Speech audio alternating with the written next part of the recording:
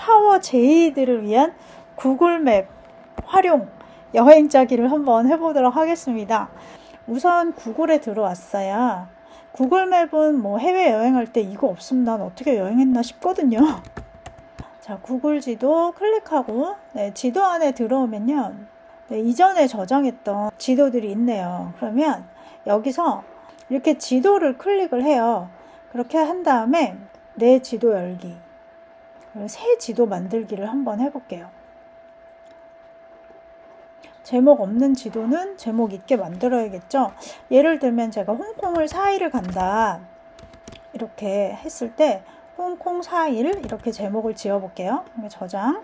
layer 개념으로 지도를 쌓아 올리기 시작하는데요. 홍콩 4일이라 그러면 뭐 1일차, 2일차, 3일차, 4일차 이런 layer로 만들면 괜찮을 것 같아요. 그래서 제목을 홍콩 1일차 이렇게 먼저 만들어 보겠습니다. 그냥 쉽게 얘기해서 그 커다란 폴더 안에 들어있는 또 작은 폴더라고 생각을 하시면 될 것 같아요. 어, 검색을 한번 해볼게요. 홍콩 국제공항에 제일 먼저 도착을 하겠죠. 그래서 좀 이쪽으로 보이게 하자. 이렇게 지도에 추가 이렇게 하시면 돼요. 뭐 아이콘도 뭐 좀 이렇게 바꿀 수 있고 막 이런데 이런 건 귀찮아 하지 마. 아침에 일찍 도착을 하는데 홍콩 국제공항 근처에 있는 아울렛에서 신발을 사 신고 여행을 시작하려고요. 통총에 들려서 아울렛, 통총 아울렛 검색해 볼게요. 그럼 여기 시티게이트가 있죠. 그러면 시티게이트를 여기 지도에 더해 줄게요. 자, 그러면 홍콩 국제공항에서 시티게이트 하나 또 들어갔죠? 예약한 호텔로 가겠습니다. 마찬가지로 추가. 아침 겸 점심이 될 것 같아요. 차찬탱 집을 좀 알아봤어요. 이 지도에 홍콩 나단 로드 여기에 보면 음식점을 이렇게 그냥 클릭해 볼게요. 그러면 이 길거리에 있는 음식점들이 표시가 되거든요. 저는 이렇게 해가지고 의외의 곳들을 좀 발견하는 경우가 많은데 이거 막 채식 피자 막 이런 것도 있어. 재밌잖아. 여기 어떨까 저기 어떨까 봐요. 아 여기 goose 여기 오리집이네. 어 맥도날드 여기 있네. 어, 이렇게 해서 찾다가 제가 정말 재밌는 걸 발견했어요. 호주 우유 공사. 이름이 너무 재밌잖아. Australia Dairy Company. 검색해 보니까 계란, 어머, 줄이 엄청 길어요. 유명한 데인가 봐. 아, 그렇구나. 일주 전에 여러 리뷰와 마찬가지로 줄이 엄청 길대. 아, 어떡하지? 아, 근데 회전율이 빠르대. 합석 100%이면, 아, 그렇구나. 여기 맛집이구나. 하긴 이 맛집이 먼저 이렇게 올라오긴 하더라고. 험불한 토스트 이런 거 맛있잖아. 어, 그러면 일단 호주 우유 공사를 음, 여기다가 지, 내 지도에다가 넣을게요. 그러면 호주 우유 공사. 아, 이름 재밌어. 호주 우유 공사가 여기 있어요. 음, 그러면 얘를 클릭해서 지도에 추가. 레이어를 추가해서 다른 옵션을 한번 줘볼게요.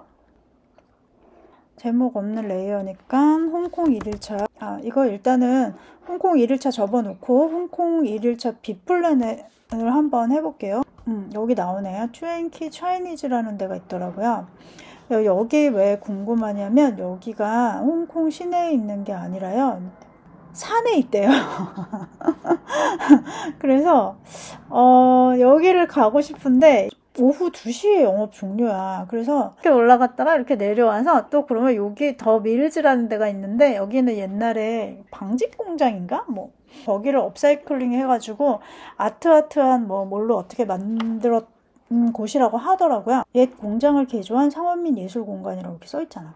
스타일 거리 있잖아요. 여기 이렇게 더하기 해가지고 스타일 거리에서 야경을 볼 수가 있잖아요. 그래서 여기서 야경을 좀 구경을 하고 홍콩 이거를 2일차로 가야겠다. 그러면 이거 이름을 홍콩 2일차로 할게요. 2일차를 로 이름을 바꿨잖아요. 그러면 2일차면 홍콩 국제공항이 있을 필요가 없잖아요. 그러면 여기 홍콩 국제공항 클릭을 해요. 그러면 여기 이렇게 태그가 나오잖아요. 여기서 요거 휴지통으로 싹 지워버리면 이렇게 됩니다. 1일차를 좀 수정을 하면 좋을 것 같아요.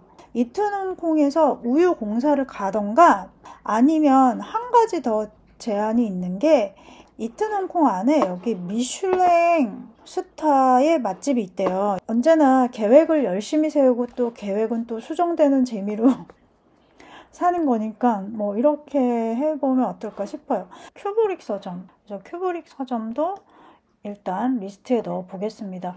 보니까 호텔에서 그렇게 멀지 않아요. 홍콩 3일차에 일단은 여기 보면 힌키. 그래, 여기 하자, 여기. 여기서 차찬탱을 먹을 거예요. 그리고 나서 미드레벨 에스컬레이터에 갔다가 어, 라마섬이나 청차우섬에 갔다가 돌아와서 빅토리아 피크를 트램을 타고 올라가고 그러면 빅토리아 피크 트램을 빅토리아 피크 트램 옆에 또, 아, 또 너무 괜찮은 게 있더라고. 음, 그래서 이렇게 해서 빅토리아 피크 가서 올라가서 보고, 아, 제가 또 조금 가보고 싶은 데가 여기 하나 더 있어요. 요 옆에, 더 머레이 홍콩. 여기가 원래 홍콩 그 청사인가? 뭐 그런 옛날 그 관공서 건물을 호텔로 바꿨는데 여기에 스페인 레스토랑이 있더라고요. 타파스 같은 거 먹을 수 있는. 그래서 요것도 이렇게 해 놓을게요. 가든 라운지가 아니고 뭐 머레이 레인인가? 뭐 이런 게 있더라고요. 다시 검색해 보자.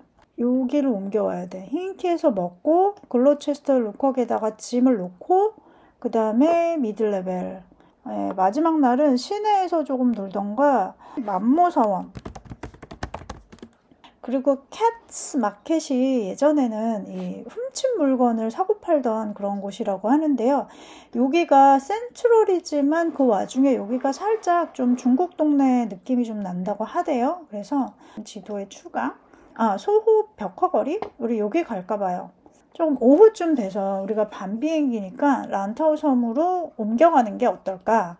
아, 에드워드 시대 건물에 들어선 의학 박물관. 어, 이것도 일단은 더해 놀래. 란타우 섬도 일단은 네, 란타우 섬 케이블카 1일차, 2일차, 3일차, 4일차 이렇게 해가지고 홍콩 4일 여행 계획을 짰어요. 내 지도가 어디에 있는지 한번 확인해 볼게요. 구글 맵 들어가세요. 자기 이름으로 로그인이 되어 있어야 내 지도를 찾겠죠. 그래서 이렇게 보면요. 음, 저장된 거 이게 아무거나 그냥 눌, 클릭을 하면 여기 지도 탭이 있어요. 지도 탭 보면 제가 만든 어, 홍콩 4일 있죠. 이렇게 들어가면 확인을 할 수가 있습니다. 아, 이렇게 지도를 가지고 하는 것만으로 스케줄이 어느 정도 어, 정리가 되기 때문에 요거는 좀 이용해 볼 만한 것이 아닐까 싶어요. 잘 연동이 되어 있는지 지도에 들어가서 한번 보도록 하겠습니다. 구글 맵으로 들어가고요. 아래 탭 중에서 저장됨 있죠. 저장됨을 보고요. 지도가 있죠. 지도를 클릭. 그러면 저장한 홍콩 4일이 여기 있죠. 이 지도 범례 보기 왜 이렇게 어려워 말이 이걸 이렇게 하게 되면 제가 만들어 놓은 것들이 간략하게 보여주고 여기 더하기 이게는 내용이 더 있다는 얘기니까 이렇게 펼쳐서 보면 돼요. 이렇게 해서 리스트 스케줄 이렇게 확인을 할 수가 있습니다. 공유할 수 있어요. 그래서 공유해가지고 내가 같이 갈 친구에게 이렇게 네, 바로 어, 보내줄 수 있습니다. 또 다른 재밌는 여행 정보 있으면 또 올게요. 그러면 여기까지 하겠습니다. 안녕!